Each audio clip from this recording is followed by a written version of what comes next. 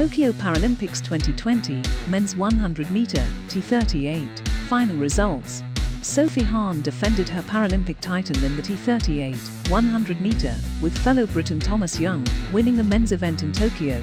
The 24-year-old held her composure to fend off Colombian Darian Faisury Jimenez Sanchez in 12.43 seconds.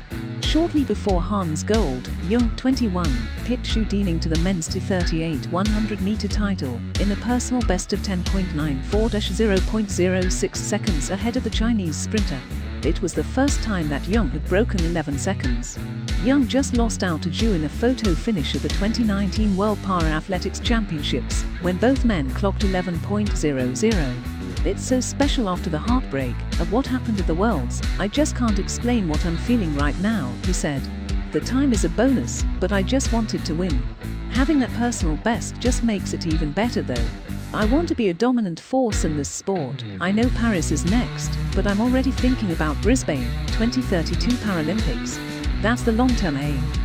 Jimenez Sanchez had broken Hahn's Paralympic record of 12.54 seconds in her heat, but Hahn responded in her own heat by equaling her own world record of 12.38 seconds.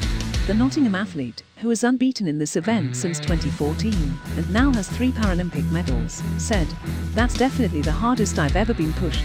She was hot on my heels and I really thought it would be a photo finish. I saw Thomas and that really spurred me on.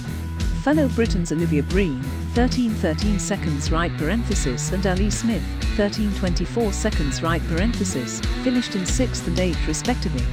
Thanks for watching. Please like, share, subscribe and comment down below. अगर ये video आपको पसंद आया हो तो please like share और subscribe करना ना भूलें